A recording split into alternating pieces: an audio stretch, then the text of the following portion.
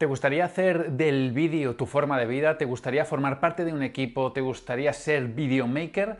Si te estás planteando dedicarte en cuerpo y alma a la creación de vídeos con estrategia y con objetivos, este vídeo te interesa porque te voy a hablar de lo que tienes que tener, lo que tienes que hacer para ser videomaker.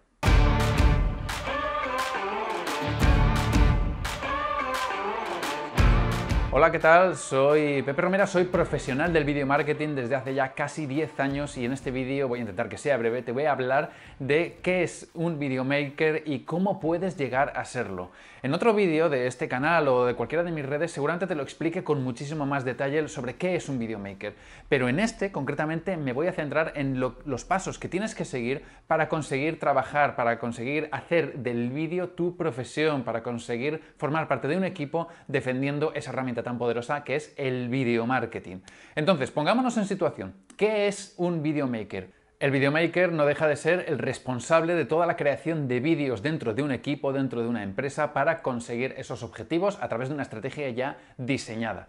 Eso te lo explico en otro vídeo con mucho más detalle para que podamos entenderlo, para que podamos profundizar. Pero hoy quiero hablar de qué significa ser eh, videomaker, de qué tienes que hacer para conseguir llegar a ese objetivo. Lo primero de todo y esto es algo que siempre quiero dejar muy claro y esto es algo que realmente a mí me preocupa porque en los últimos años hemos visto cómo han salido muchos neoficios, cómo se ha renombrado de una manera así como muy moderna, muy guay, oficios que ya existían, Y entonces hemos visto cómo han aparecido en el mercado, pues, eh, copywriters, em, eh, project managers digitales, closers de venta, em, controllers financieros, no sé, han aparecido muchas figuras todas ellas muy útiles, todas ellas necesarias, pero hay una en cuanto a la, profesión, al neoficio de videomaker, que yo quiero dejar claro, esto no es para todo el mundo.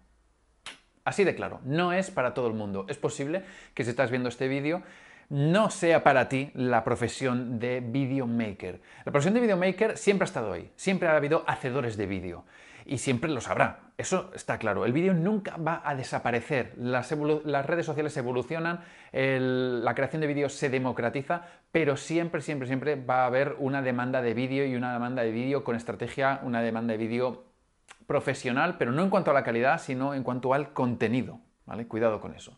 Entonces, lo que yo quiero que sepas es que tú puedes ser videomaker, yo te voy a recomendar, mejor dicho, que seas video, videomaker si realmente te motiva el vídeo si realmente hacer vídeos es algo que te emocione, es algo que siempre estás, aunque no hayas hecho ningún vídeo nunca, pero siempre estás analizando, reconoces patrones en algunos eh, tipos de vídeos que se repiten, eh, te preguntas cómo se ha hecho tal o cual cosa dentro de un vídeo. No te hablo de hacer cine, no te hablo de hacer televisión, no te hablo de producción de televisión.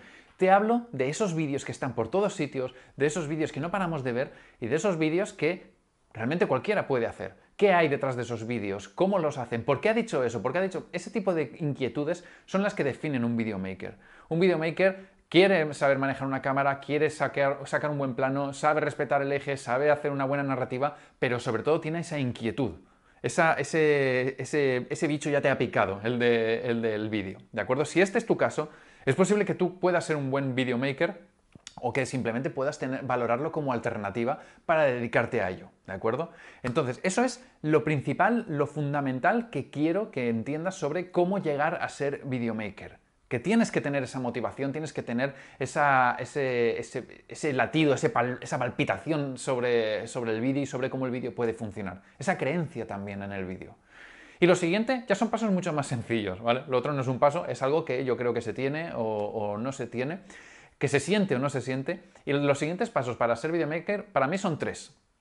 Tres pasos los que vas a tener que seguir si quieres ser parte de un equipo, si quieres formar parte de, esta, de estos nuevos negocios que están saliendo, defendiéndolo a través, de, a través del vídeo. Lo primero y lo más importante es entender cómo funcionan los negocios. Ese es el primer paso, entender cómo funcionan los negocios. Entender cómo funcionan los negocios digitales y los negocios tradicionales o los negocios offline reales, todos son reales, pero bueno, para que nos entendamos. Estos negocios, tanto los digitales como los offline, viven de unos clientes, viven de unos servicios, los ofrecen de una forma y tienes que entender cómo funcionan estos negocios. Esto se tiene que entender a través de los embudos de venta, a través de la promoción, a través de la visibilidad, a través de los lanzamientos, de los webinars, de los eventos, a través de la visibilidad para un negocio local, a través de conseguir más ventas para un e-commerce Tienes que entender cómo funcionan los negocios, no todos, pero por lo menos aquellos en los que te vas a hacer fuerte. Ese sería el primer paso. Dentro de ese paso de entender cómo funcionan los, negocios, em, los negocios del siglo XXI, tienes que entender también cuáles son las herramientas, más que entender, comprender, manejar las herramientas para trabajar en remoto, porque la situación es la que es y trabajamos todos en remoto. Yo tengo un equipo de siete personas ahora mismo y nunca nos reunimos físicamente en el mismo sitio. Ahora ya ni siquiera podríamos, pero tienes que entender cómo puedes hacer para, cuáles son las distintas, em, las distintas profesiones, las distintas figuras que van a formar parte de un equipo multidisciplinar, cuál es el papel que jugarías tú en ese equipo y cómo te vas a comunicar con todos ellos de una manera optimizada para rentabilizar tanto tu tiempo como el del propio equipo como el de la propia empresa. Ese sería el primer paso. Sin duda, algo muy muy importante para saber qué lugar ocupas tú y cómo vas a ayudar aportando con vídeo. El segundo paso de estos tres para ser videomaker es hacer buenos vídeos. ¡Ah! Sorpresa. Hacer buenos vídeos eh, para perseguir ese objetivo a través de esa estrategia de la que te hablaba antes.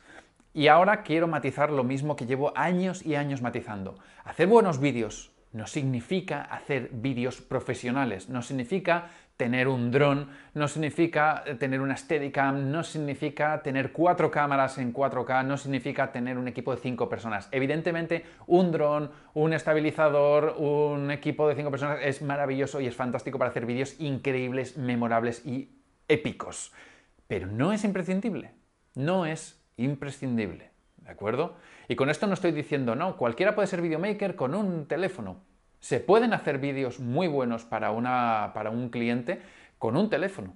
¿De acuerdo? Pero no estoy defendiendo ni un extremo ni el otro. Lo que estoy defendiendo es que lo que hace que un vídeo funcione es la estrategia, los guiones y el planteamiento del propio vídeo y lanzarlo en el momento justo. El ejemplo que pongo yo siempre es que eh, el primer webinar con el que yo gané dinero, más de 10.000 euros, en un, de esto ya hace unos cuantos años, en un webinar, fue con un webinar que hice con la webcam de mi portátil, sin ningún tipo de iluminación, me falló la diapositiva, entonces lo hice a pelo directamente me y vendí perfectamente.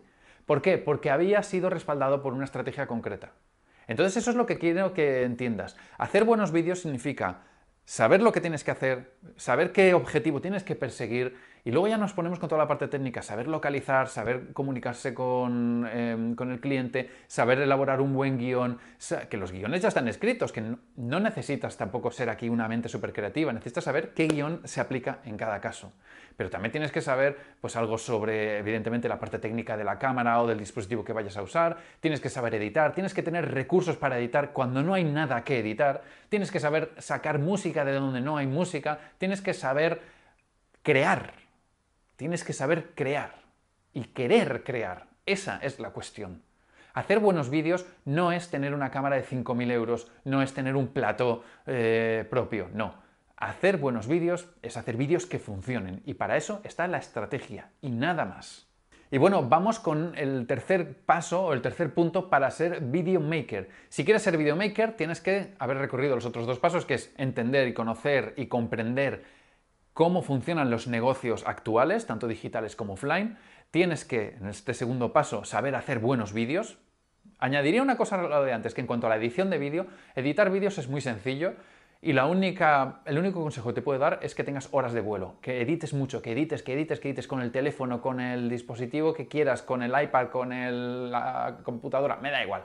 El caso es que edites, que edites mucho porque eso es lo que te va a dar esa capacidad de mm, versatilidad a la hora de eh, crear cualquier pieza en base a cualquier contenido. ¿vale? Y ese sería el segundo punto, saber hacer buenos vídeos respaldados por una estrategia, persiguiendo un objetivo y ya está. Y el último punto es ser una empresa, ser un negocio, ser un profesional del vídeo. Porque lo que no quiero yo es que si, hablamos de, de formarse como videomaker, lo que no quiero es gente que sepa hacer vídeos, pero no se devuelque totalmente. Porque yo, yo contrato videomakers, yo tengo videomakers en mi equipo y contrato más videomakers y me piden constantemente videomakers para lanzamientos, eh, campañas de tráfico, para webinars, para un montón de cosas. Entonces lo que yo no puedo hacer es nunca recomendar a alguien que no se comporte como empresa, que no se comporte como marca. Entonces tú tienes que entender que si vas a ofrecer servicios como videomaker, tú tienes que comportarte como un videomaker profesional, que es lo que vas a ser. Y eso implica saber trabajar con los clientes, implica saber hacer ofertas, implica saber venderte para conseguir clientes y sobre todo implica tener muy bien definido qué es lo que haces y para quién. Me podría meter con el tema de definir los, eh, estatutos de la empresa, definir la línea de marca, todo eso sería genial. Pero lo más importante es que entiendas a quién quieres ayudar y de qué forma lo vas a ayudar. Puedes centrarte solamente en hacer lanzamientos de cuatro vídeos, puedes centrarte en hacer solamente spots para negocios locales, puedes centrarte en hacer em, webinars para mm, clientes de todo el mundo, puedes hacer nuggets de video marketing. Un videomaker puede hacer cualquier cosa que esté relacionada con el vídeo enfocada a ese, a ese objetivo del negocio que quiere, que quiere ayudar. Defínelo. No hace falta que hagas todo. No hace falta que hagas eh, milagros y que, le digas a todo el mundo que sí. No. Puede ser el videomaker de los webinars, el videomaker de los lanzamientos, el videomaker de, de los negocios offline. Pero define bien eso y define a quién, quieres vas a, ayudar, a quién vas a ayudar, de qué forma y por supuesto cuánto le vas a cobrar y de qué forma le vas a entregar ese trabajo. Y por supuesto estar dado de alta de autónomo y poder hacer factura y este tipo de cosas que dan tranquilidad a los que te, contratan.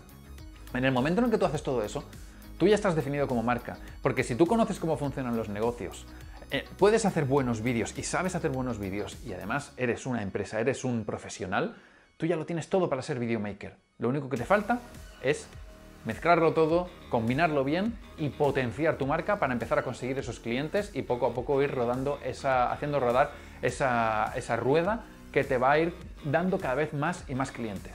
Así es como uno se convierte en un videomaker. Yo llevo muchos años en esto, muchos años de verdad. Yo he pasado por hacer vídeos para mí. Sí, primero hacía vídeos para... No, primero hacía vídeos para los demás, empresas. Luego empecé a hacer vídeos para mí, Luego empecé a contratar empresas para que me hiciesen vídeos a mí. Y luego empecé a contratar empresas para hacer vídeos para los demás. Y al final tuve mi propio equipo y hago vídeos para mí, y hago, hago vídeos para mí, y hago vídeos para los demás. Siempre hay demanda de videomakers, siempre. Y lo que yo quiero decirte con esto es que si te pica el gusanillo del vídeo, el videomaker es la profesión que realmente te puede ayudar a hacerlo tu forma de vida. Y ahora simplemente quiero preguntarte una cosa, y creo que me dejes un comentario. ¿A ti te interesaría una formación para aprender todo esto que te estoy diciendo, que te lo he dicho tres pasos por decirte sota caballo rey, pero hay muchísimo más que aprender. Y no quiero que me digas, es que soy muy mayor, es que yo no puedo aprender esto, es que no se me da bien la tecnología. Olvídate de todas, ah, de todas esas cosas, ¿vale? Simplemente quiero que me digas, ¿te parece interesante la profesión de videomaker? ¿Te parecería atractiva una formación para entender cómo funciona la profesión de videomaker y cómo puedes hacerla tu profesión? déjame un comentario, por favor. Eh, me encantará leer tu opinión, leer tus impresiones y también yo pues sacar algo de información al respecto. ¿Vale? Pues nada, eh, soy Pepe Romera, tú no, y estoy encantado de ello. Chao.